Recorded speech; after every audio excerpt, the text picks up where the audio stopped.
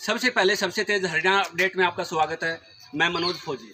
आज खेड़ी गाँव के अंदर ये स्थिति हो चली है कि यहाँ पर इतना कूड़ा पड़ा हुआ है और नालियों का नालियों का तो कहना ही क्या है, आपको हम दिखाते हैं। यहाँ पे जो कूड़ा पड़ा हुआ है, आए दिन यहाँ पे क्या होता है कि यहाँ पे जो कूड़ा पड़ा हुआ है, पहले क्या होता था, यहाँ पे एक डस्टबिन रखा हुआ था। जो डस्टबिन जो भर जाता था, उसको जो हमारी पंचायत थी, वो साफ़ करवा देती थी। अभी जब से पंचायत राज खत्म हुआ है और हमारे जो प्रशासनिक अधिकारी हैं, उनके हाथ में शासन आया है, तब से ये गाँव की बुरी हालत है। तो यहाँ पे मेरे साथ कुछ मौजूद आदमी हैं जो गाँव के लंबड़दार हैं और बुज़ुर्ग आदमी हैं, उनसे हम बात करने की कोशिश करते हैं। किस प्रकार से ये मामला और कहाँ कहाँ इन्होंने जाके अपनी रिपोर्ट की है, लेकिन कोई सुनवाई नहीं हो रही। प्रशासन की तरफ़ से बात करने की कोशिश करते हैं नाम है मुल्तान सिंह वो प्रॉब्लम ये है कि जी यहाँ पर ये जो कूड़ा है ये सार्वजनिक जगह है।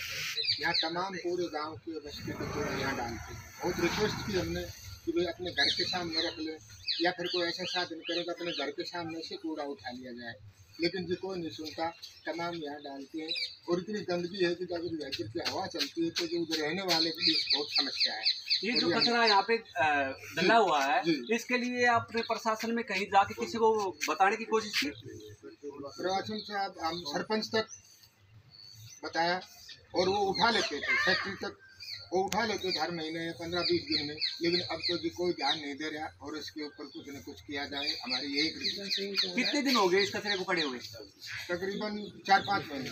चार पाँच महीने से ये कचरा नहीं उठाया जा रहा। उठाया जाए आप देख पा रहे हो कि ग्रामवासी जो यहाँ पे खड़े हुए हैं ये बोल रहे हैं कि जो कचरा पड़ा हुआ है इस कचरे से काफ़ी बीमारियाँ उत्पन्न हो सकती हैं, डेंगू हो सकता है, और वैसे भी यहाँ से निकलना मुश्किल है। जो आसपास के घर हैं, वहाँ पे सोना भी दुर्लभ हो जाता है। रात को जैसे हवा चलती है तो सो नहीं पाते ग्रामीण। और बार बार सेक्रेटरी के संज्ञान में डाला गया ये मामला, फिर भी कोई कार्य नहीं हो पा रहा। बार बार सेक्रेटरी को फ़ोन करते हैं सेक्ट्री उठाता नहीं है। सेक्रेटरियों के हाथ में जब से यहाँ पे जो अपना गाँव का जो शासन आया है गाँव को संभालने का जिम्मा आया है। उन्होंने बिल्कुल ही अपनी तरफ़ से एक तरह से पल्ला झाड़ रखा था। हमने पिछला जो मामला था धड़ुंदा का भी उठाया था वो भी सेक्ट्री से ही रिलेटेड था। और ये भी गाँव का जो मामला है ये भी सेक्ट्री से रिलेटेड है।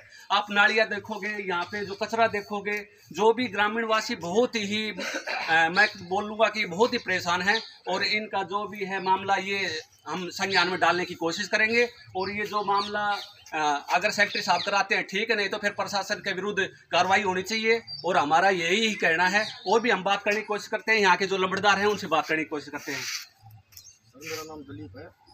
मेरे यहाँ पर बैठक है।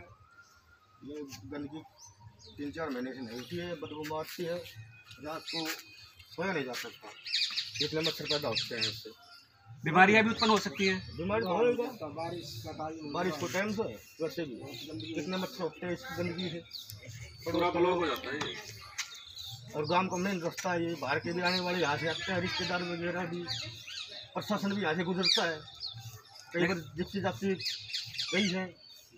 तो कोई ध्यान नहीं दे रहा। ये बोलने की कोशिश कर रहे हैं कि यहाँ से जो भी ये मैं, गाँव की मेन गली है, और यहीं से सभी लोगों का आना जाना होता है, प्रशासन के आदमी भी यहाँ से आते हैं, लेकिन अनदेखा करके निकल जाते हैं।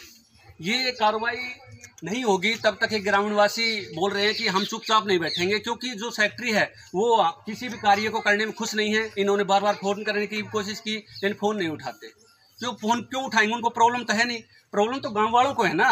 हम ये बोलना चाह रहे हैं कि जो प्रॉब्लम है, वो गाँव की सॉर्ट आउट किया जाए, गाँव की तरफ़ ध्यान दिया जाए, ठीक है? और जो सफ़ाई कर्मचारी हैं, वो भी पता नहीं किस प्रकार से रुके हुए हैं, किसके आदेश पे रुके हैं, कुछ पता है नहीं।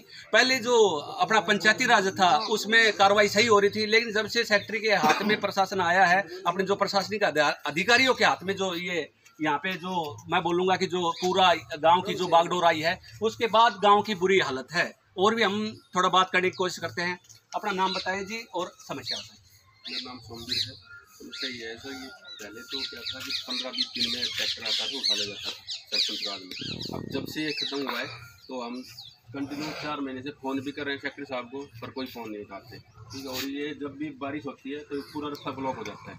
ये आगे से थोड़ा सा हाइट है, इसलिए वो पानी बह के आता है तो सारा ये इसमें पूरा ब्लॉक हो जाता है। और यहाँ पे ये पाइपलाइन पीने के पानी की पाइपलाइन दबी हुई है तो ये भी गंदा पानी अंदर जाता है। लोग इसको यूज़ कर रहे हैं पीने के लिए। तो बीमारी होगी और इससे भी बीमारी हो रही है। बच्चे इधर से निकलते हैं, आते जाते रहते हैं। यहाँ पे गाय भी, गायें आती हैं। आपको उस दिन फ़ोटो भी करवाई थी मैंने। तो ये गाय कचरे को खाती है तो गाय भी बीमार हो सकती है। और भी पशु निकलते हैं। इसमें क्या होता है मेडिकल के भी वो डले हुए हैं। और वैसे भी बहुत गंदी गंदी चीज़ें पड़ी है। नीडल वगैरह भी जी जी जी जी सर गाँव वाले बोलने की कोशिश कर रहे हैं कि इस कचरे के अंदर जो भी आदमी तो इस कचरे से परेशान है ही है बाकी पशु भी परेशान है क्योंकि यहाँ पे जो गाय वगैरह होती है भैंस वगैरह होती है वो इस कचरे को खा सकती है जिसके अंदर पोलोथीन होती है जिसको क्या है डाइजेस्ट करना बहुत मुश्किल होता है और वो भी अपनी मतलब यानी कि मौत का शिकार हो सकती है। तो इस चीज़ से मतलब जो गाँव वाले हैं काफ़ी परेशान हैं। तो ये मामला की तरफ़ ध्यान दिया जाए हम प्रशासन से यही गुजारिश करते हैं कि इसकी तरफ़ ध्यान दिया जाए धन्यवाद।